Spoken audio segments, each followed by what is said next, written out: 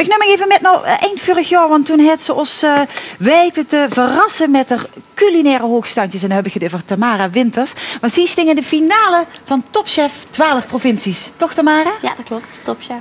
Wat heeft dat met jou gedaan? die Ehm, deelname? Nou ja, ik heb er heel veel van geleerd in ieder geval. En eh, daarna ben ik ehm, ehm, ja, verder gegaan zeg maar, met mijn ambitie.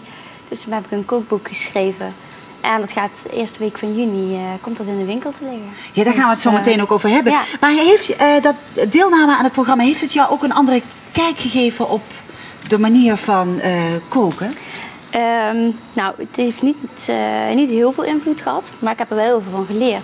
Dus met proeven en technieken geleerd. Dat was voor me, vooral voor mij eh, hetgene wat ik ervan heb geleerd. Oké, Ja. nou goed. Heb je het boek trouwens bij je? Want dat willen we wel even... Nee? Nee, het boek is pas 28 mei klaar. Oh ja, maar ik dacht dat je misschien al een, eh, Ja. een proefje mee Nee, had. Maar, nee. Want dat wil ik... Het heeft namelijk een hele bijzondere cover. Stiletto's in de keuken vind ik al een hele bijzondere naam. Hoe kom je, Ja. kom je daarbij? Nou, ik ben eh, zelf, eh, hou ik heel erg van hooghakken. Ik heb wel voorliefde voor hooghakken. Heb je ze ook aan nu? Oh ja, En, ja, ik zie het. En mijn kookboek heeft niet alleen met het koken te maken, maar ook met het stylen. Dus ten eerste, hoe maak je je gerecht op? En dat heet Let's Dress. En verder, hoe ga je je gasten leuk ontvangen? Dus hoe dek je leuk de tafel? En hoe kan je heel gemakkelijk, zonder dat het je veel tijd kost, gewoon eh, leuke naamkaartjes maken, menukaarten en Nou, geef dan daar al eens een tip over. Ja. Nou, ik heb bijvoorbeeld hier, eh, dadelijk, straks kun je dat zien als de gerechten gaat serveren, heb ik eh, kleine bordjes waar je met krijt eh, de naam bijvoorbeeld op kan schrijven of de ingrediënten die je gaat serveren. Dus ja, nou, dat, dat is heel gemakkelijk. Binnen vijf minuten ben je klaar. Dus dat zijn de extra dingen die, die we Ja. in jouw kookboek kunnen verwachten. Ja. Wat maakt jouw kookboek nog eh, meer interessanter dan de andere kookboeken die eh, al in de winkel liggen? Nou, het is in ieder geval anders. Het is ook anders gefotografeerd. Het heeft een andere uitstraling. En het heeft ook een andere indeling. Dus je, het eh, is niet een voorhoofd nagerecht boek.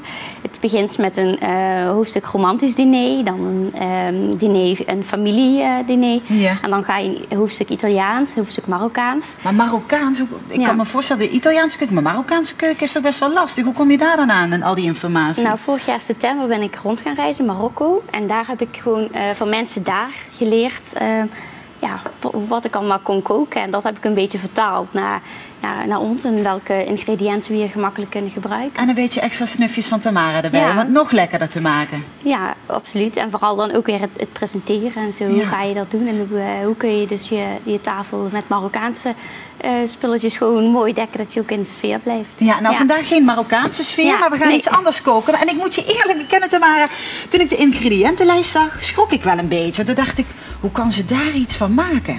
Ja, nou, het is een gerecht dat ik in eh Topchef eh, heb gemaakt. En ik kreeg daar een black box. En we moesten een groentegerecht maken. En daar zat onder andere eh, tomaten, aardbeien, grogbrood, paprika zat er ook nog in. Ja.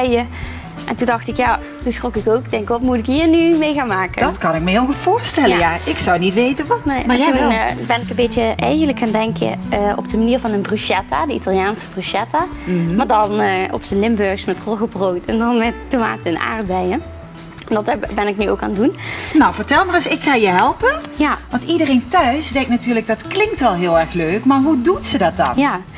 Nou ja, we hebben in ieder geval, ik heb alvast het roggebrood klaargemaakt. Die bakken we krokant. Kijk eens in hoe mooie, Ja. mooie ronde schijfjes. Dit is dan gewoon eh roggebrood, maar dan heel feestelijk ziet het Ja. eruit. En dat doe je eigenlijk door zo'n heel Ja, ik heb eenvoudig... hier eh, een steekring. Ja. En ik, ik vind het altijd heel belangrijk als je gaat koken dat je niet precies aan het recept hoeft, hoeft te houden. Weet je, ik heb roggebrood erin staan. Dan kies je gewoon wat jij lekker vindt. Weet je, vind je donker lekker of licht? Dat maakt niet uit. Dus ik heb ook verschillende soorten liggen. Maakt niet uit. En dan steek je met die ring steek je gewoon een rondje. Maar heeft, je hebt ook natuurlijk verschillende soorten in roggebrood Ja. hè, qua smaak. Ja. Maakt dat dan op zich nee, niet zo heel veel niet. uit? Nee, Oké. voor dit gerecht niet. Ik heb hier een stukje voor je. Kun je alvast proeven als je wilt. Nou, ik heb een uh, glutenallergie. Ik mag geen brood, dus ik doe het even niet als je het niet erg vindt. Ja, erg hè? dat is niet erg. Ja, dan hebben we olie in de pan. En dan gaan we die eh, eh, in de pan leggen met peper en zout. Ja. Dan moet je, ze moeten wel heel krokant zijn. Dus ze moeten wel echt net op het randje daar van... ook iets ja, over? Op het randje van verbranden, zeg maar. Op het randje van verbranden. Ja. Oké, Ja. dus je moet er goed bij blijven. Ja. Dan heb ik hier tomaten. Die heb ik allemaal, die gaan we ontvellen. Dus we halen het velletje eraf. En daarvoor snij je ze zo in. Dat heb ik met de rest ook al gedaan. Dan heb ik daar kokend water. eh, die mag je hier overheen doen. Maar Dus ik- dat, ze eh, willen nog heel even zien hoe je ja. dat deed. Dus eigenlijk gewoon Ja, gewoon zo, Zo. en zo. een kruisje erin. En dan is het helemaal klaar. Zo? Nou, zo heb ik al die tomaten dus gedaan. En als je wil mag je het kokend water, het water heb ik gekookt, mag je er overheen doen. Gewoon eroverheen of Ja. wil je hem helemaal vol? Eh, ze moeten onder staan. Ze eh, moeten een eronder beetje. staan, oké. Ja, dus dat kun je gewoon eh, doen. Hoe kom je erbij om dit op deze manier te doen? Nou, dat is eigenlijk gewoon heel, eh, heel standaard. Eh, als je tomaat wil ontvellen, dan. Ah, nou dan zie je al dat ik echt dus, geen eh, ervaring heb dus in de keuken. Ja. Ik denk, nou dat heeft ze zelf verzonnen, maar dat is dus niet zo. Ja, en in Top Chef Is mag het zo je... goed trouwens, Tamara? Ja, is goed. Laten we ze 20 seconden staan. 20 En daarna seconden? gaan we ze onder koud water laten schrikken. En daarna gaan we ze pellen. Oké. Dus het deze moet je goed letten. Die moeten wel goed krokant zijn, maar dat is echt op het randje van verbranden. Dus dat moet je altijd een beetje goed in de gaten houden. Oké. En wat ik altijd als tip, en wat ik dus van Top Chef echt heb geleerd, is dat je altijd meer moet maken dan dat je nodig hebt. Maar als het misgaat, dan heb je altijd wat extra. Oh ja, dat is een hele dus, goede eh, tip. Maar heb, je je- ik denk ook wel dat je daar leert om met stress om te gaan. Nou, Want Ja. ik denk dat je daar behoorlijk wat druk Ja, op je schouders hebt. Je krijgt heel weinig tijd. Ja, dat is natuurlijk leuk, want dan gaan er dingen mis. Dus dat, eh, ja goed, dan moet je ook wel laten zien wat je in huis hebt. Ja, Ja, maar Ja. wanneer eh, ga je dit gerecht eigenlijk eten? Want het lijkt me niet echt een hoofdgerecht dit. Nee, ik, eh, ik serveer het als voor- of als tussengerecht.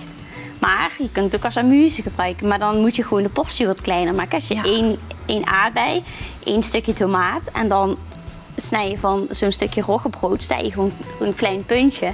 En die doe je erbij en dan heb je een amuse.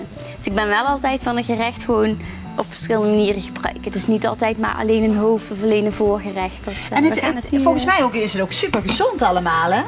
Eh, nou ja, je gebruikt wel veel olie, dus dat, dat is het minste Ah, Oké, maar ja, beter dan boter dan eh, weer. beter dan boter. Ja, dan Dus nu ga je er wat eh, koud, water. overheen ja. gooien. Dan schrikken de tomaatjes en dan zijn ze dus makkelijker te pellen. Ja, dan gaan we dat zo doen. Laten we ze heel even staan. Ook En dat als weer je een, wil, hoeveel eh, seconden is dit? 20 seconden in het warm water. ehm, ja, zeg een halve minuut. Het maakt Eh, niet zo heel veel 30 uit als ze koud zijn. We gooien met de secondes vandaar. Oké. Oh ja, nou heeft hij al een zwart Precies. randje, maar dat is dus geen Ja. probleem. Nou, dat is niet zo erg. Nee. Oké, nou goed. En als je wil mag je wijn. Eh, ik heb aardbeien, die heb ik Hoe- schoongemaakt. Hoe komt dat toch altijd dat er in elk gerecht dat hier gekookt wordt, altijd wordt er alcohol gebruikt? Ja, is dat zo? Ja, dat Ja, valt ik me denk op. dat er wel veel alcohol wordt gebruikt in de keuken. Maar ja, het geeft ook natuurlijk al veel smaak. Ja, Dus oké. wel. Over de aardbeien. Over de aardbeien. Ik zeg wel stop. Gewoon, eh Ja. stop? Nee, meer. oh, oh, oh, je zei ja dat het mocht. Maar aardbeien koken, Ja. dat is toch ook niet... Dat doe je normaal toch met kersen? Of? Ja, het is ook wel zo dat je moet uitkijken. En dat staat gelukkig ook wel in mijn boek allemaal beschreven. Je moet goed uitkijken met de aardbeien. Je moet ze niet te lang warm laten worden, want dan worden ze heel zacht. Dus dat is wel de kunst om het zeg maar ehm, ja, niet te lang te doen. Dus het gaan, we gaan het ook maar heel kort eh, verwarmen. Oké. Het is natuurlijk niet gebruikelijk om een, een warme aardbei, maar het is wel heel lekker. Nee, daarom. Maar Ja. hoe, hoe merk je nou wanneer die dus goed is voor dit recept? Ja, je moet altijd proeven. Het is gewoon, je, je, moet altijd proeven. En, en ik ben ook altijd, we hebben nu de wijn in gedaan. Ja. En de aardbeien, nou, je moet aardbeien proeven. Hè? Want ze kunnen zoet zijn, maar je kunt ook zure aardbeien hebben. En je kan ook zoete wijn hebben, maar ook zure wijn. Nou, en dan heb ik hier bijvoorbeeld verschil- verschillende balsamico's. Heb ik hier heb ik een hele zoete, die is wat ouder. Ik heb hier een, een gewone, nou, die is wat zuurder. En ik heb hier een met vijgen, ja, die is nog zoeter. En waar zou jij nu voor kiezen dan? Nou, deze dit? aardbeien zijn best zoet, dus ik ga voor de middelste. Ik hou wel een beetje van zoet. En zo meng Ja. je dan de soort smaken bij elkaar. Bij elkaar, Ik ja. zou daar weer suiker overheen gooien. Ja, maar dat... er- er gaat ook suiker in. Ja, dus dat... eh, Oké. het-